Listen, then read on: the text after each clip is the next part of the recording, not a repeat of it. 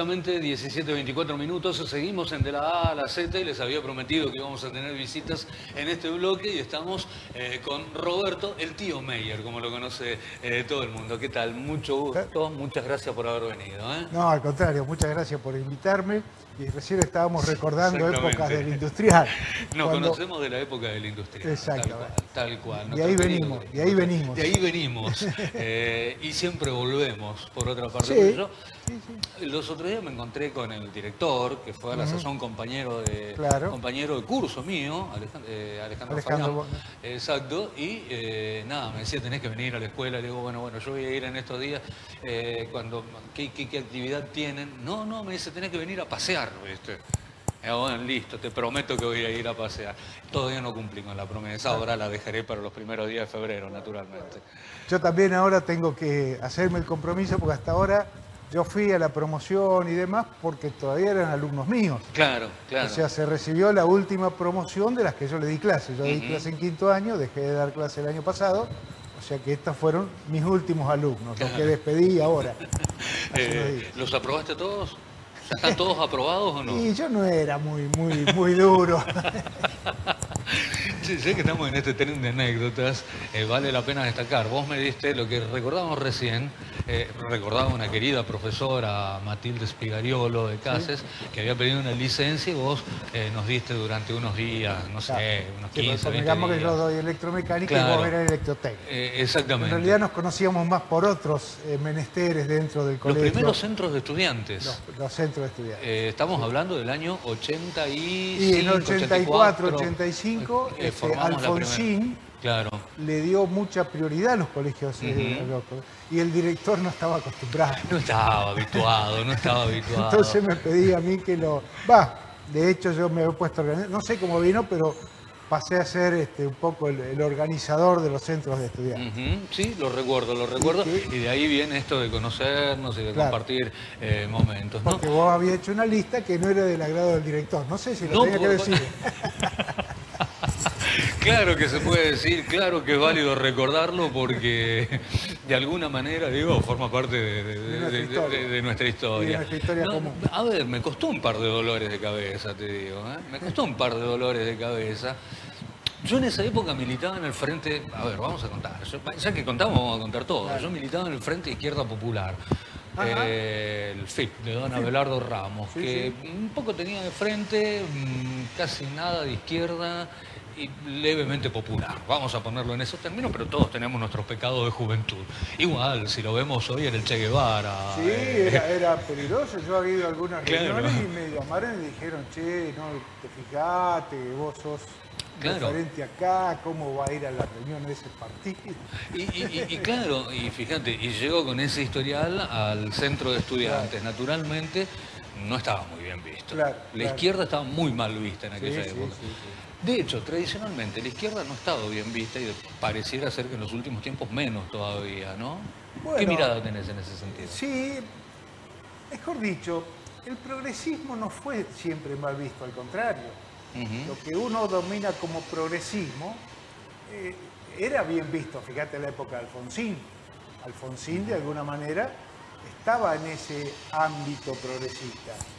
Sí, la socialdemocracia, francesa, pura. Y, de hecho, la socialdemocracia en Europa fue muy bien vista y muy bien vista en todos lados. O sea que era como que una competencia entre lo que eran los partidos de derecha involucrados con las Fuerzas Armadas y los golpes militares y lo otro que era progresismo. Pero estaba mal visto cuando se tiraba más a la izquierda, cuando había algún rasgo de que podía parecerse al comunismo. Eso era, eso fue lo que siempre fue muy, muy mal, muy cuestionado, muy, este, muy vituperiado, muy rechazado, sobre todo por los medios y porque, bueno, el comunismo pasó a ser la parte mala, la parte fea.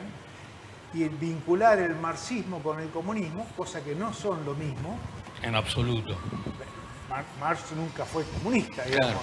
de hecho. El comunismo fue una forma de gobierno que tuvo sus bajos y sus altos. Digo bajo y alto porque uno dice que ya no está más. Sin embargo, China tiene el Partido Comunista, si bien ha liberado su mercado, claro. pero el partido que gobierna es un partido comunista. Si planteaba, a ver, el marxismo en definitiva no, dejaba de ser como toda teoría un abstracto, al cual le da forma luego el régimen soviético, para decirlo de alguna manera, eh, termina de darle una forma muy particular, muy peculiar. Sí, no siendo, no siendo un reflejo directo. No, o sea, Lo que, lo que dice Lenin es que él es marxista. Exacto. no sé si Marx hubiese aprobado a Lenin. Pero digo. Porque eh, Marx fue un filósofo. Un filósofo, claro. Entonces, la teoría es en sí amorfa. Y dentro de eso, vos fíjate que dentro de esa cuestión de plantear una cuestión de clases, donde una clase es dominante y la otra es. Y, tiene, exactamente, y tienen emparejar, aplicado a la década del 70, no hubo más marxista que Martínez de Oz, digo. O sea, los dejó a todos planchados. Es decir, más allá de, la ironía con la que uno puede llegar a mirarlo, pero en definitiva, digo, era muy, muy, muy amorfo. Demasiado, me parece, ¿no? De todas maneras, vamos a. creo que me llamaste por cuestiones más, más, puntuales, más reales y que tienen que ver con esa historia, porque nuestro presidente lo está planteando volver a 1900. Claro. Y que justamente yo un poco cuando se vino esto, un poco era eh, qué significaba aquella época. Él decía cosas que son inexactas, decía que Argentina era el mayor país del mundo, el primer país del mundo. Totalmente inexacto porque Estados Unidos de Norteamérica tenía el 50% de la producción mundial. Una cosa que nunca más se volvió a ver. Este, por lo cual, bueno, puede ser el primero, si hay uno que tiene el 50%. ya está. Ya está.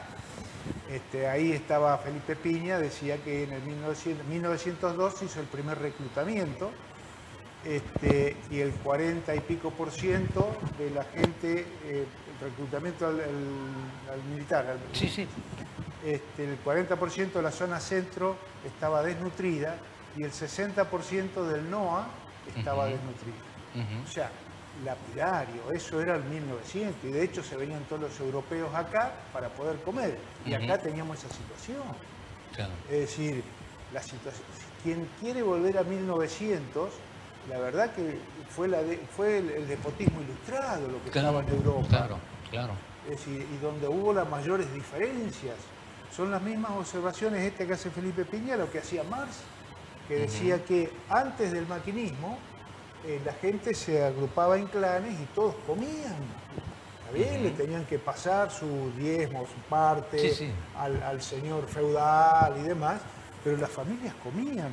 Cuando vino el maquinismo, el que tenía la máquina era el que eh, tenía, un montón, pero después el que se quedaba sin trabajo no comía. Venían acá, pues acá tenían la posibilidad de comer, pero bueno, esos datos de Felipe Piña también son son catastróficos. Ratificados en otro libro, El atroz encanto de ser argentinos, de Aguinis, Marcos Aguinis, que también, ¿no?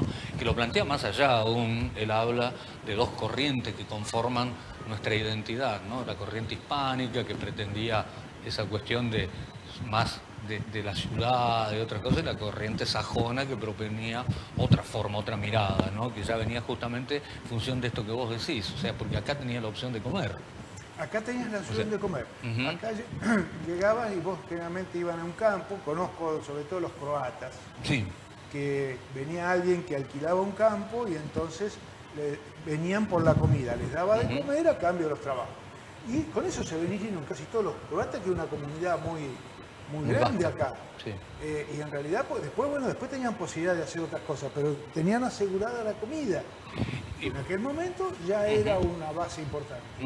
Y vos sostenés que mm, hoy por hoy estamos regresando a esa Argentina eh, que tenía unos números tan, tan fuertes como los que acabas de contarnos. Bueno, es que el, presidente lo está diciendo, es decir, da números falsos, como que éramos la primera potencia mundial, otra falsedad que dice siempre es que los países más liberados son los que mejores viven y en realidad los países menos liberales son los de Europa, que recaudan el 40% del PBI, los, los países europeos casi todos. Hay un mapa de las Naciones Unidas donde te pone cuánto, cuánto, está, cuánto recauda el Estado de lo que se produce.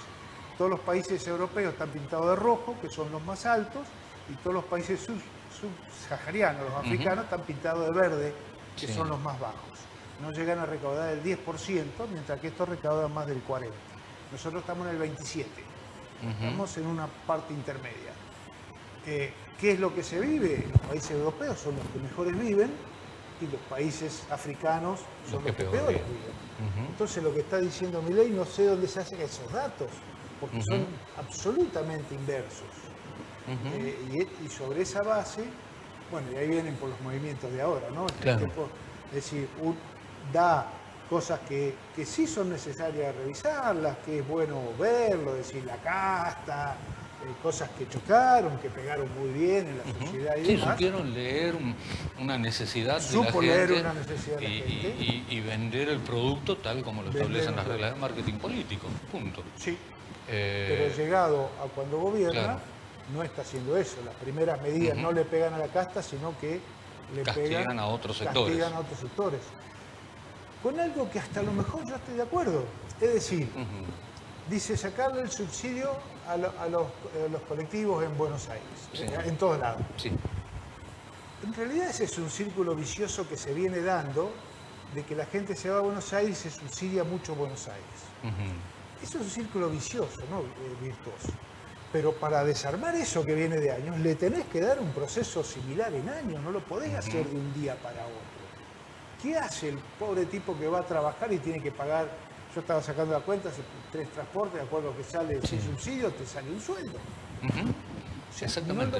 si vos, lo podés plantear. solventar. Claro, vos lo podés plantear como de aquí a un proyecto, a un programa, que vas a ver cómo lo vas implementando. Bueno, pero justamente lo que se, lo que argumentan y lo que plantean eh, desde el gobierno nacional es que no hay margen para el gradualismo. Bueno, justamente cuando Macri dijo lo vamos a hacer igual pero más rápido, y en realidad es lo que está aplicando ahora, es decir, es como que él no tenía muchas políticas, por más que es economista, y él, propone el liberalismo, pero digamos... Anarco-liberalismo. Anarco, encima anarco. Claro, justamente me quería detener en eso. Eh, a ver, ¿es posible la, la, anarquía? Y no importa que sea liberal, ultraliberal o recontraliberal, pero la anarquía en sí. Expliquemos primero qué es la anarquía. Expliquemos qué es la anarquía. mira, me, pegaste en una cosa muy, muy linda. Yo una vez leí, yo cuando estaba en el secundario leía bastante, leía mucho. Y como me rayaba y pues, me, encerraba en un lugar en mi casa, que tenía lindo, que estaba lindo y que tenía libro. Encontré un libro que se llamaba El hombre de Chesterton, el hombre que oh, fue jueves. Chesterton. y me gustó porque el tipo plantea, jueves era el líder de los este, anarquistas, que era un hombre de la alta sociedad. Y entonces, cuando después, bueno, a los tipos le ponían bombas, a la, hacían descarrilar los trenes. Exacto. Entonces, este, bueno, que lo descubren al tipo. Entonces el comisario, hay una entrevista, eso es lo, lindo, una entrevista, pero escúchame, vos sos de la alta sociedad, ¿cómo sos anarquista? Y ahí se produce la discusión, que me parece que es el eje del libro, entre alguien que asumía la sociedad como estaba, que estaba, ya era la época de los trenes, que los trenes eran cosas, y el anarquista que decía, no, el tren no tiene que llegar a horario. Porque si todo está medido, el hombre pasa a ser un engranaje dentro de una máquina, deja de pensar, deja de ser hombre. Eh, y me pareció este, solvente la posición del anarquista. Claro. Y, realmente fue muy fuerte, y acá vinieron los anarquistas y demás, que se peleaban contra lo instituido. Sí. Es decir, tal como se estaba armando, no les gustaba. Y en realidad que se estaba armando una sociedad muy injusta también. O sea, estamos hablando de esa época de Pero, digo, a ver, estamos hablando de principios del siglo XX, de 1900, que el anarquismo acá fue muy fuerte, junto con el socialismo, que de alguna manera representa, y a veces se los confundía, pero representan los dos pelearse contra el sistema. Uno para que sea todo más parejo y otro para que se rompa ese sistema.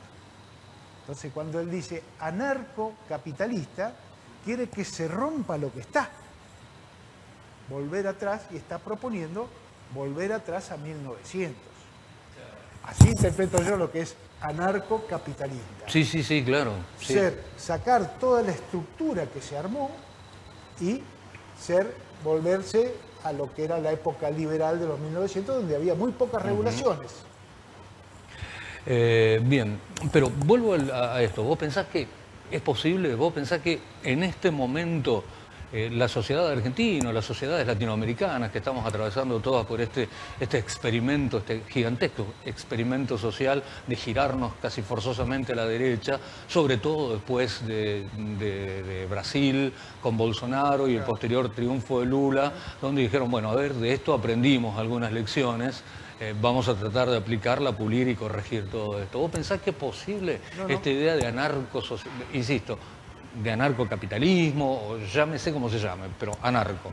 No, más allá de que hay muchas cosas que van a ser discutidas y que merecen ser discutidas, volver atrás con todos los avances que se dieron, que para mí fueron un avance que se dieron en Europa y que se dieron en Argentina, eh, yo entiendo que la gente no lo va a admitir, no lo puede admitir.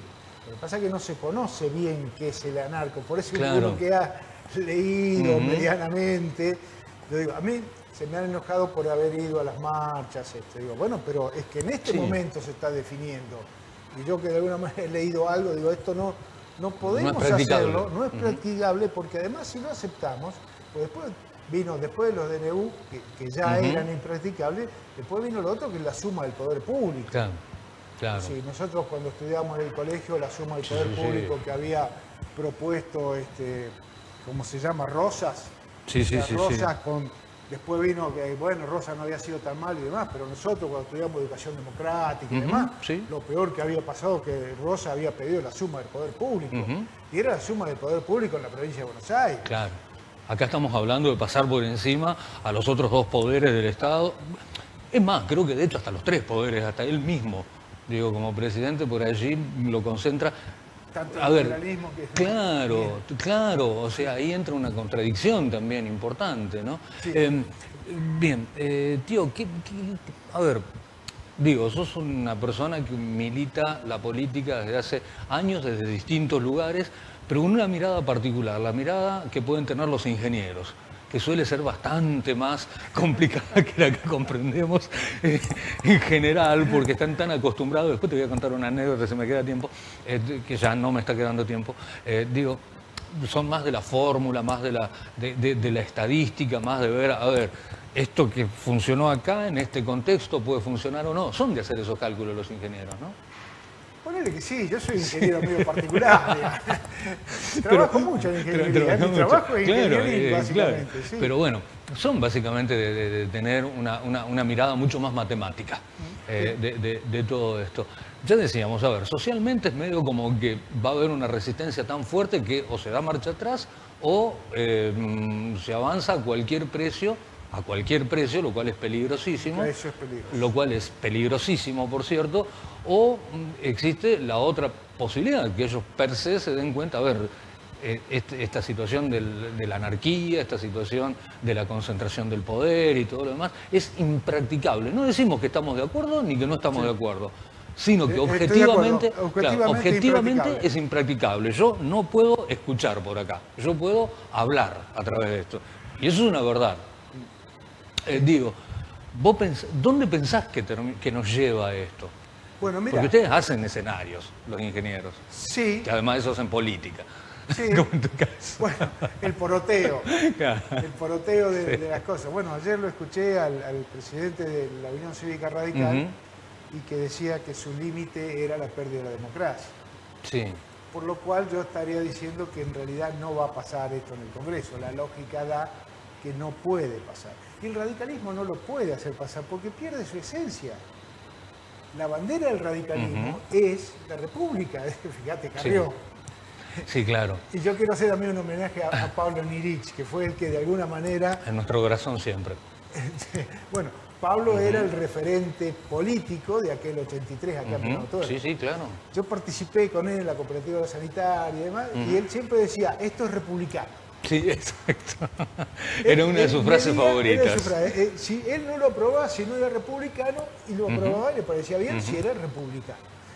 y es una bandera, lo digo Lilita Carrió, por más que milite en otro partido más, viene De, esa, de esa esencia radical. La esencia del radicalismo es el republicanismo. Eh, mientras que el peronismo es la justicia social, digamos. Claro. Claro, allí sienta sus Ahí pilares. Sienta sus pilares, pero el radicalismo es cosa y lo perdió en gran medida con Macri. Fue una radical, Margarita Stolbizer, la que se negó a los, jueces por decreto, a la Corte Suprema de Justicia, lo recuerdo. que tuvieron que dar marcha atrás, después negociaron, terminaron siendo, pero digamos, un radical no podía aprobar eso. Bueno, y ahora está pasando que por suerte el radicalismo está, ha tomado posición, por lo menos lo que escuché ayer. Sí, sí, lo último indica, o sea, había algunas tibiezas todavía, pero bueno. Sí, eh, están diciendo que lo van a pasar, eh, lo podrían hacer la ley de espejo, después decían que no, es decir, presentaban lo mismo, pero para ser presentado por el Congreso. Digamos, son formas de no romper, pero no pasa esto así. Y por otro lado, creo que lo que hace mi ley también es forzar la situación. Sí, lógico. Es decir, ahora que tengo el coso, ahora me mando. Claro, claro. Si pasa, pasa. Lo decían con Macri también, ¿no? Y eso sí, sí, si pasa, pasa. si pasa, pasa. Siempre hay tiempo, Macri decía, siempre hay tiempo para regresar. Siempre hay tiempo para, regresar. o sea que yo lo que veo, por suerte, bueno, soy optimista. Es ¿Sos optimista? Eh, soy optimista. Creo que no va a pasar estas dos por el Congreso y va a haber distintas formas de atenuar el choque contra el Ejecutivo de parte de los radicales. Claro.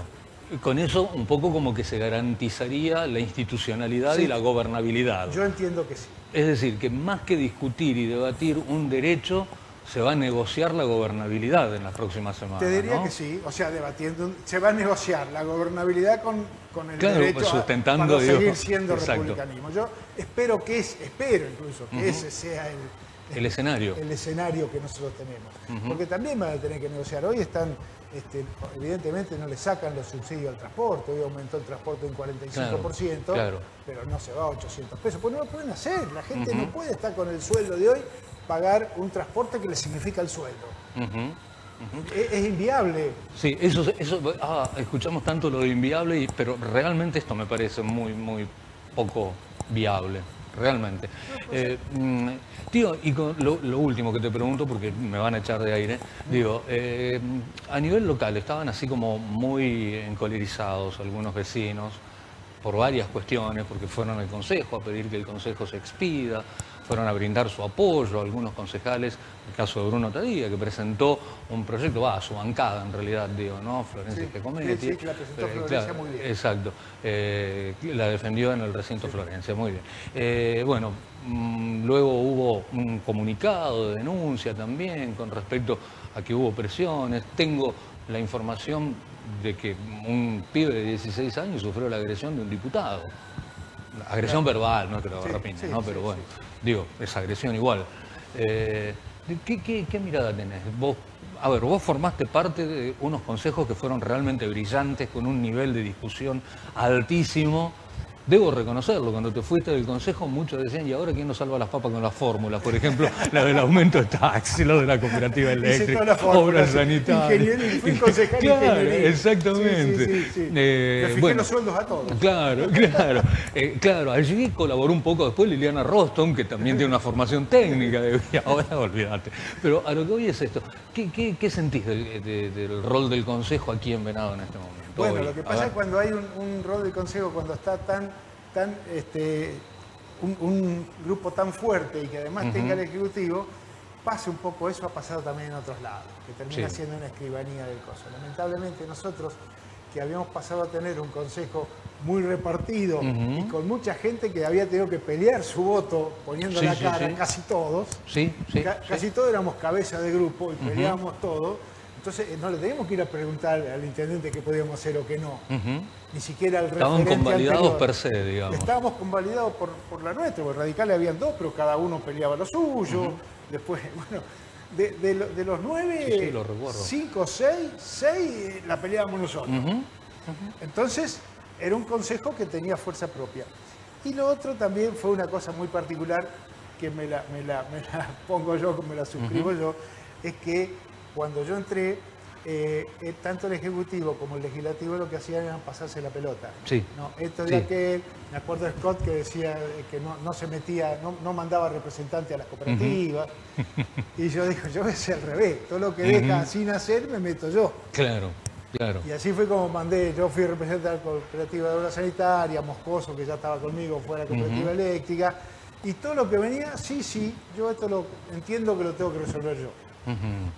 Y, ahí le cambiamos un poco el eje. La lógica, De, Porque además yo lo primero que hice cuando entré de concejal, eh, estudié qué me, correspondía hacer. Claro, claro.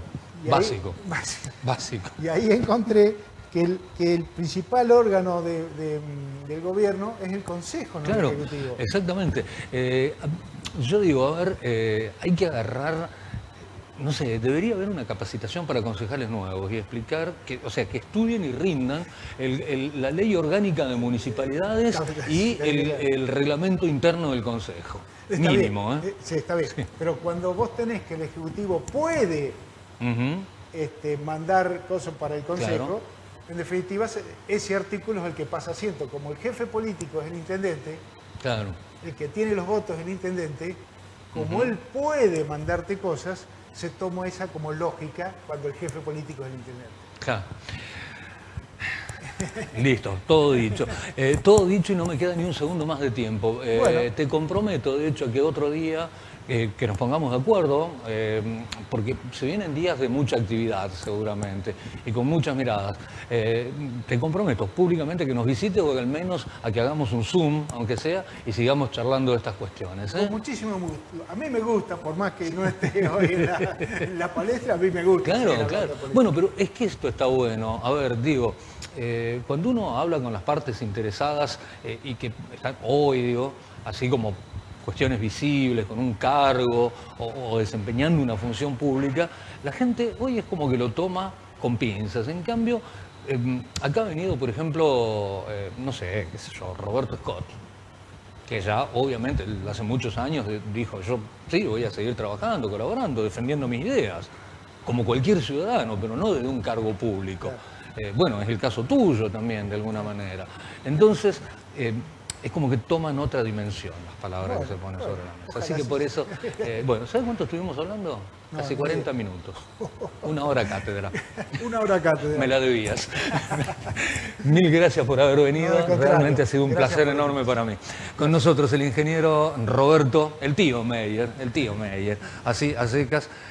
Fuimos muy compinches los alumnos con vos como docente, realmente. Cierto, me fue bien con los alumnos. Tengo muy, gratos recuerdos. así que bueno. Eh, y cuando nos encontramos, una alegría, como hoy. Sinceramente, eh, un gustazo enorme haber compartido con él eh, este segmento del programa. Nos metemos ya, nos quedan cuatro minutos al aire nada más. Así que tirame dos cortitos para acomodarnos y venimos ya con la despedida.